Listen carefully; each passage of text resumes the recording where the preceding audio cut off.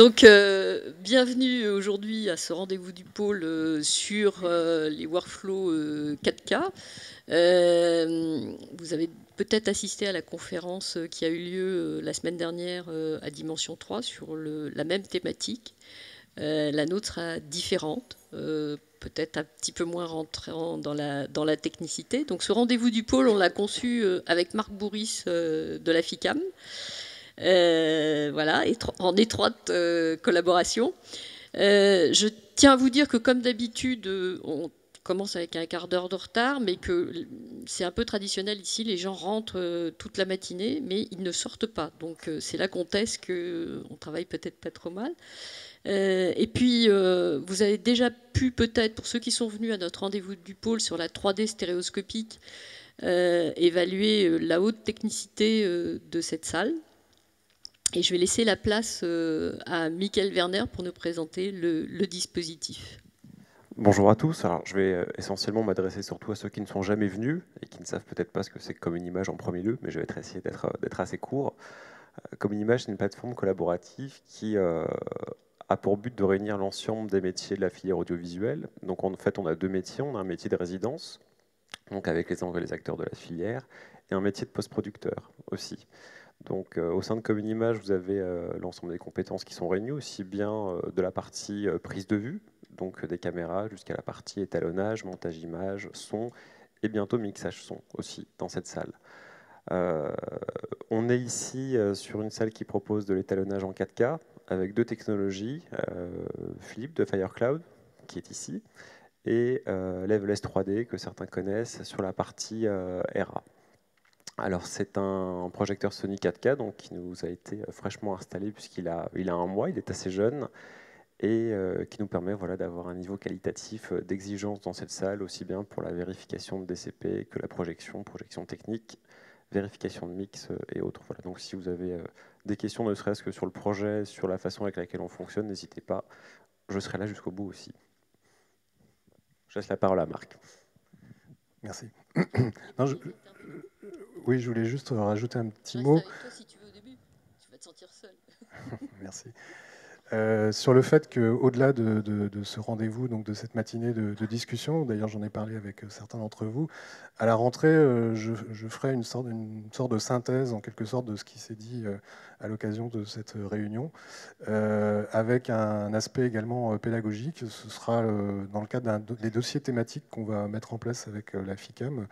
Euh, régulièrement sur des grandes mutations technologiques, en ayant euh, comme euh, objectif d'essayer de, vulgariser, dans, le bon sens du terme, des technologies émergentes dans notre secteur, au-delà des techniciens qui sont largement représentés ici, notamment par le, sur le 4K, sur d'autres sujets liés à la dématérialisation également des contenus. mais bon, le premier sujet en tout cas, ce sera le 4K et l'Ultra HD à la rentrée. Voilà, donc on, va démarrer, absolument. Donc euh, j'avais commencé euh, par euh, faire une petite présentation générale du, marché de la 4K et de l'Ultra HD, histoire de situer un peu ce dont on parle. Très bien. Donc avec quelques chiffres clés. donc déjà, bon, rappeler que, donc, euh, le 4K, c'est lié euh, à la numérisation des salles, donc, euh, et, qui plus est, aujourd'hui, la numérisation des salles de cinéma est en quasi totale, donc les exploitants sont à la recherche de, relais de croissance.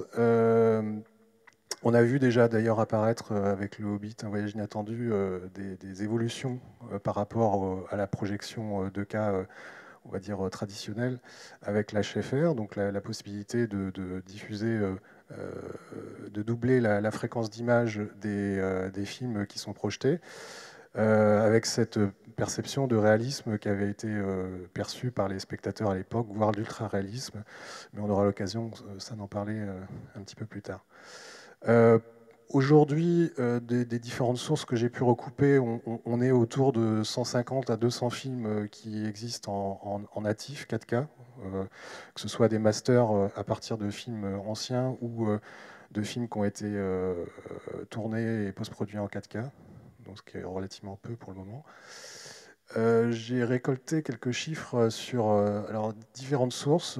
Une qui est un institut d'études assez connu, IS, IHS, pardon, Screen Digest, qui récolte l'essentiel des, chiffres dans le monde sur le cinéma, le décinéma. Euh, sur 110 000 écrans des cinémas dans le monde, euh, il y en aurait, euh, enfin il y en a plutôt, c'est pas au conditionnel, 20 277 en 4K, ce qui représente autour de 15%, et en Europe 2500, et un petit peu moins en proportion en France, puisqu'on est à 331 projecteurs 4K aujourd'hui dans les salles de cinéma. Euh, plus de la moitié sont de la marque Sony. Euh, en tout cas, euh, si on prend les, proportions sur le monde entier, puisqu'en France, ce n'est pas tout à fait le cas, c'est beaucoup plus réparti entre les marques. Et donc, bah, toutes les marques aujourd'hui commercialisent des projecteurs 4K. Ensuite, sur la partie euh, caméra, euh, je continue un peu le tour d'horizon. Donc, euh, j'ai même mis des chiffres pour montrer en quelque sorte que, les prix sont très variés. et surtout, les, on aura l'occasion d'y revenir évidemment plus en détail tout à l'heure sur certaines des caméras qui, ont été utilisées dans les, œuvres dont on va parler aujourd'hui. Mais donc il y a une diversité des, caméras euh, cinéma numérique en 4K aujourd'hui, avec euh, effectivement des, niveaux de fonctionnalité, des, ergonomies euh, très, très différentes et des prix également.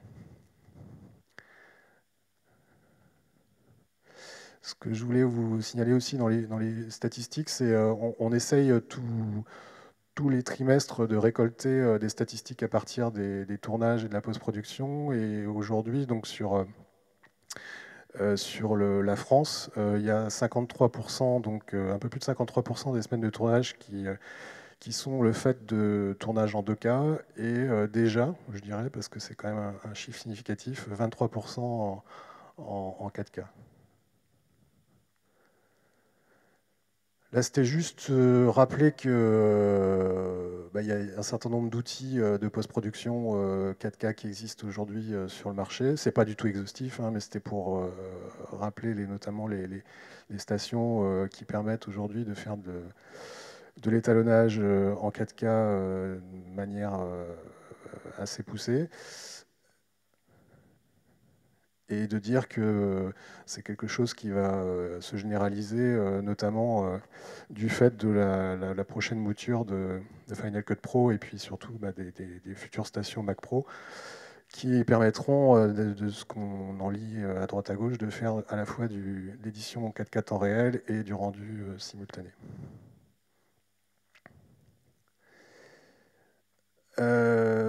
Là, j'ai voulu lister en quelque sorte des, pratiques. Euh, là encore, c'est pas forcément exhaustif, mais de, pratiques qui, existaient déjà, qui préexistaient en 4K, avant même que, on, ait des, œuvres réellement euh, réalisées dans, ce format. Euh, il y avait la restauration des films, bien évidemment, pour obtenir des, niveaux de correction numérique suffisamment poussés sur des films anciens des films de patrimoine. Euh, au-delà de la restauration euh, des films euh, sur les effets visuels, bah, il y avait la pratique qui consistait à faire des scans de, pellicules pour, pour ensuite faire les parties effets visuels. Et donc, dernière chose aussi, bah, tout ce qui est 3D, dans le sens où pour shifter deux images 3D, il y avait déjà une pratique qui consistait à, à scanner ou à utiliser des images haute résolution pour pouvoir garder de la matière euh, sur cette étape. Ce qui est nouveau donc, euh, et dont on va parler aujourd'hui, c'est l'utilisation euh, bah, sur l'ensemble de la chaîne, ce qui est rendu possible grâce aujourd'hui à des caméras qui, vont plus loin dans la dynamique du signal, et également sur, l'ensemble de la chaîne en post-production de, même avec des, des possibilités, alors j'ai cité ici, mais en attendant ce standard qui, pour l'instant n'est pas, euh, pas totalement euh, euh, défini, il y a déjà des méthodes qui existent et dont vous, vous parlerez tout à l'heure, j'imagine, qui, permettent d'aller assez loin dans, dans, la, correction des, couleurs, de la dynamique de l'image, d'aller chercher donc des, choses intéressantes. Et jusqu'au bout de la chaîne, donc de pouvoir garder cette cohérence, y compris avec les futures technologies qui arrivent, comme la projection laser ou, l'écran OLED. Bon, ça c'est le, schéma traditionnel pour juste faire un pont avec ce qui existe dans la télévision, pour marquer bah, les, différences de résolution qui, qui, existent entre télévision et cinéma traditionnel. Euh, pour parler donc euh, quelques minutes de la télé, euh, aujourd'hui j'ai référencé à peu près une vingtaine de téléviseurs 4K sur le marché, donc chez les grandes marques, hein, Samsung, Sony, LG, Toshiba, etc., qui vont de 55 à 110 pouces, avec aussi des références de vidéoprojecteurs, avec des prix très très variables. Et puis euh, donc euh, une offre, en tout cas qui, grossit euh, de manière assez importante au, fil des mois, depuis un an à peu près. là aussi, donc IHS Screen Digest annonce une baisse des prix importante à la fin de l'année prochaine principalement. Et dans leur projection, ils estiment qu'en 2017, donc dans euh, dans, dans, 3-5 ans, on va dire, euh, on, sera au même niveau que la HD en, 2002, c'est-à-dire au moment où euh, les ventes ont commencé à décoller. Donc il y a encore deux ans, on va dire, deux, trois ans de, stagnation, entre guillemets, ou de, progression assez faible. Là, c'était un tableau pas, exhaustif d'ailleurs, mais en tout cas qui essaie de, récapituler les grandes différences entre euh, l'Ultra HD et, les formats cinéma euh, des DCI. C'était surtout aussi pour noter que l'Ultra HD euh, allait aujourd'hui, en tout cas sur les premières standardisations, plutôt vers la redéfinition de, de, framerate, donc de, de fréquence d'image plus importante, et puis de quantification numérique également plus importante. C'est une voie aussi qui est, aujourd'hui empruntée euh, en premier lieu par, euh, par le cinéma numérique. Mais il y en a d'autres, comme on le verra tout à l'heure, euh, sur, sur les aspects colorimétriques également.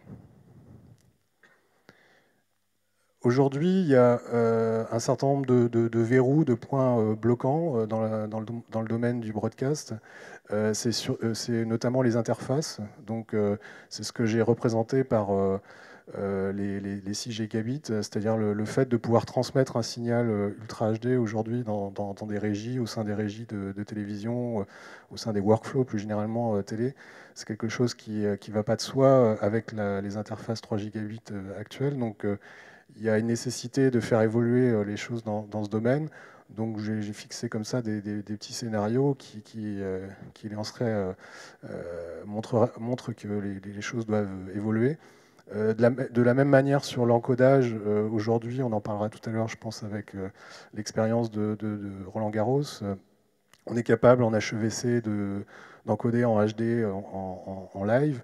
En revanche, pour ce qui est du, 4K, c'est encore un encodage qui, nécessite un temps de, traitement, chose qui, d'ici trois ans, on peut imaginer, va, être possible. Et de même pour les, terminaux numériques, aujourd'hui, il y a un verrou euh, assez important qui est, l'interface euh, entre euh, les set-top box, on va dire, et les téléviseurs, qui est le HDMI, et qui est en cours de, normalisation dans sa version 2.0 et qui permettra d'atteindre des fréquences d'image plus importantes et donc du coup d'apporter au-delà de la résolution d'image des gains pour le spectateur également plus importants. Euh, juste, euh, oui, je mettais un petit mot qu'on ne voit pas très bien, mais sur, euh, sur le fait que aujourd'hui, en HD, le, HEVC, donc est le codec, le nouveau codec qui est en, train de se mettre en place et, en cours de, standardisation, permet d'économiser 50% de, de bande passante. en 4K, enfin dans des résolutions plus, importantes, ça permettra même de, faire des économies de bande passante plus, plus significative sur la diffusion euh, télé.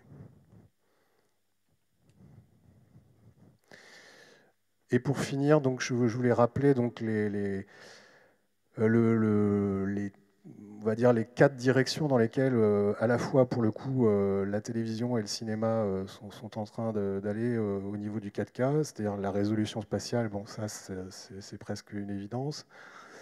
il y a également la quantification des, pixels qui, permettent d'obtenir un signal plus, riche, donc une dynamique d'image dans laquelle on peut, chercher des, éléments de manière plus fine. Il y a la résolution temporelle aussi, donc euh, la fréquence d'image sur laquelle travaillent euh, bah, tous les acteurs du marché. Et puis euh, donc le, les espaces couleurs plus, plus importants sur lesquels également l'ensemble de, la filière travaille actuellement.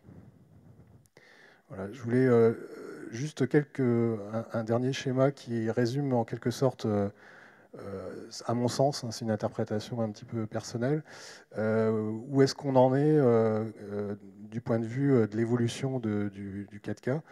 Au cinéma, je dirais que les voyants sont plutôt au vert. au niveau de la captation, comme on l'a vu, il y a pas mal de caméras. Au niveau de, la post-production, les outils sont, également présents, de la distribution aussi. Euh, l'exploitation en salle, ben, c'est en devenir, c'est ce que je disais tout à l'heure. Et euh, l'expérience du spectateur, je pense que là, il y a encore des choses à améliorer. C'est pour ça que j'ai mis en jaune, euh, au sens où il y a sans doute, au-delà de la résolution, à, faire évoluer l'expérience du spectateur vers le HFR et, également des recherches en matière d'image à approfondir. Au niveau de la télévision, euh, pour moi, les choses sont un peu plus, euh, moins avancées. Euh, au niveau de la captation, il n'y a encore pas d'outils réellement de, caméra broadcast en, Ultra HD. en post-production, pareil. Au niveau de la distribution, ben, j'en parlais tout à l'heure, donc les interfaces doivent évoluer. Il n'y a guère qu'au niveau des écrans où euh, là on peut dire que les, voyants sont ouverts, où il y a déjà des références suffisantes sur le marché pour attirer des spectateurs. Euh, mais après, je pense qu'au niveau de l'expérience euh, du spectateur, on en parlera aussi tout à l'heure, il y a encore beaucoup de choses à démontrer sur l'intérêt du 4K par rapport à, à la HD notamment. Voilà.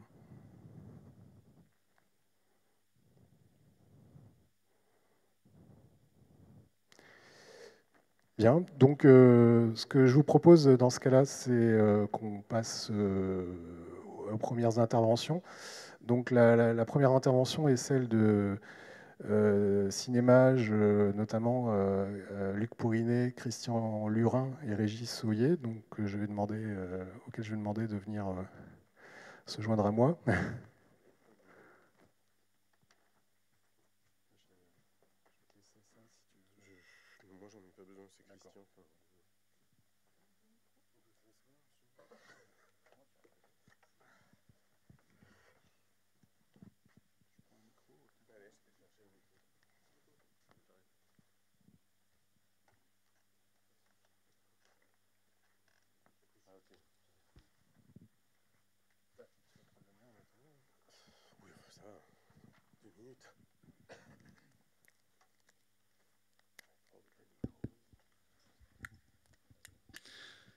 Donc peut-être euh, dire deux mots sur euh, Cinémage, enfin en, introduction. Donc euh, juste excuser aussi Vincent Janot qui, est directeur photo et qui devait venir, enfin qui, souhaitait venir à, cette réunion. Et puis bon qui était pris par ailleurs sur des sur un tournage avec les étudiants de l'école aux Lumières, donc qui s'excuse de ne pas pouvoir être là, mais en tout cas qui donc on va parler du court métrage notamment qu'il avait réalisé euh, donc de, tests euh, qui avaient été montrés euh, lors du micro-salon AFC en début d'année et donc qui avait tourné avec des caméras Sony f65 avec des optiques ingénieux et qui avait essayé d'aller jusqu'au bout, enfin jusqu'au bout, en tout cas qui avait essayé de pousser au maximum les, possibilités de, de, ces outils, donc en partenariat avec Cinémage justement pour la partie post-production. Merci Marc. Euh, bonjour à toutes et à tous. L'idée euh, des images que vous verrez tout à l'heure, euh, c'était de montrer que finalement, ce workflow 4K est beaucoup moins compliqué, angoissant et inquiétant que beaucoup d'entre nous et d'entre vous véhiculons. Moi, ce qui m'a frappé le plus, alors je vais vous faire 30 secondes de mon parcours, comme ça vous comprendrez pourquoi je viens de dire ça. J'ai fait 11 ans et demi de laboratoire photochimique chez Aran, qui avait pour partenaire numérique Microsimage. Donc très tôt, j'ai été confronté au problème du numérique et de l'argentique, que connaît aussi très très bien Christian Lurin, qui a passé quelques années et chez Kodak et chez Eclair, et de la difficulté de pouvoir avoir une chaîne qui soit cohérente entre l'argentique et le numérique. Et d'un seul coup, quand je me suis retrouvé face au, problème du 4K, en arrivant chez Cinémage, euh, grosso modo, il y a un peu plus d'un an maintenant, euh, j'ai entendu autour de moi un certain nombre de professionnels dire de toute façon, c'est trop compliqué, euh, on n'y arrive pas, on ne sait pas faire. ça m'a un peu surpris, j'avoue. D'abord parce qu'il y avait des technologies qui existaient et qui fonctionnaient. J'essayais de comprendre pourquoi d'un seul coup ça devenait quelque chose de très lourd et de très compliqué. Euh, c'est vrai que chez Cinémage, euh, qui donc fait partie du groupe Image dans lequel vous avez, euh, je fais un peu de pub 30 secondes, Vidéomage, qui fait de la fiction télé depuis maintenant 20 ans, et depuis 10 ans grosso modo en numérique, tout format confondu HD ou 2K, des studios qui sont les studios d'Aubervilliers, une société qui fait du transport de données sur Internet depuis maintenant 10 ans, que ce soit des données images, des données son ou des données data et que euh, naturellement, Michel Cazobiel, qui en est le président, quand il a décidé de, monter une partie post-prod cinéma, euh, pour lui, c'était évident que le 4K était euh, naturellement ce vers quoi il devait aller. Moi, je suis arrivé modestement en lui disant, mais t'es sûr? Tout le monde dit que c'est compliqué. Et j'ai commencé à rencontrer des fournisseurs qui m'ont dit, mais pas du tout, ça marche, ça fonctionne. Il y a ici des gens qui sont des gens du métier de la caméra, qui en parleront tout à l'heure. C'est beaucoup moins inquiétant, angoissant et compliqué que ça en a l'air. Donc l'idée du film que vous verrez tout à l'heure, c'était de dire euh, euh, arrêtons de, véhiculer cette idée que c'est compliqué, lourd et difficile à manier. Non, c'est pas si compliqué que ça, c'est pas si lourd que ça. Euh, c'est faisable, c'est jouable. Et aujourd'hui, on peut commencer à tourner en post-produit en 4K. Quand je dis aujourd'hui, c'était l'année dernière, au mois de septembre. D'où l'idée de ce film, pour essayer de montrer un peu de quelle manière on pouvait travailler. Régis Oyer, qui est à l'honneur chez nous, vous expliquera quels en sont les avantages et les avantages. En tout cas, le plaisir qu'il a eu à travailler euh, sur ces images.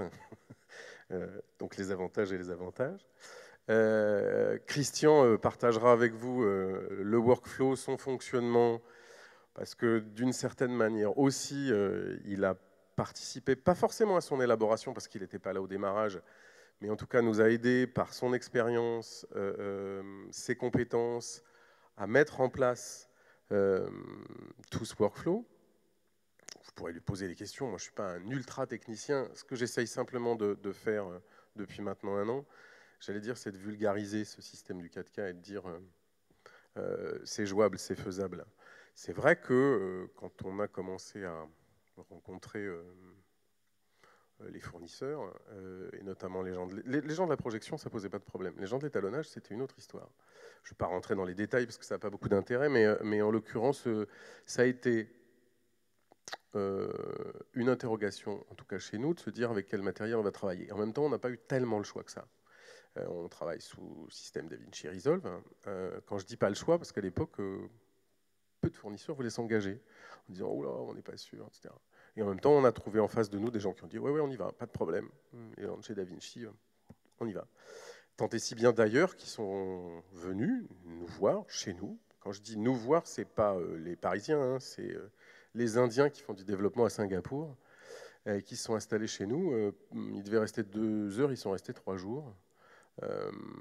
pourquoi? Simplement parce que on a appris après qu'on était un peu bêta-testeur du truc et qu'ils étaient assez contents de pouvoir expérimenter un peu la filière et voir ce que ça donnait, parce qu'ils l'avaient expérimenté chez eux, ça fonctionnait, ils nous l'avaient dit répété, euh, pour le coup, euh, dans une salle live avec des vraies images, etc., à tourner, hein, bah, c'était un peu nouveau pour eux. Donc euh, ça, ça a permis de nous confronter à leurs expériences, les nôtres. On a commencé à travailler avec des images en RAID, épiques. C'est les premières images qu'on a eues.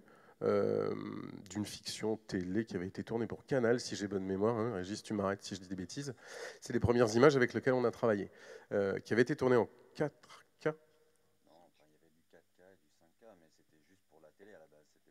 Ouais, c'était une fiction télé. Voilà, une fiction télé pure et dure. Et les premiers tests qu'on a fait, on les a fait avec, ces images-là. Euh, et, quand on s'est retrouvé face à ces images, en les regardant et en étant en 4K natif et temps réel, hein, je sais pas si tourner à la Réunion, des belles images, des, des, vraies images de vacances. j'étais un peu comme un gosse, moi. J'avoue très honnêtement que j'étais un peu comme un gosse face à ces images. J'ai eu la chance, moi, de, travailler sur des films grand format 70 chez Aran pendant 11 ans. Et quand j'ai retrouvé euh, le 4K sur cet écran, je dis, ah, ouais, pas mal, on y va.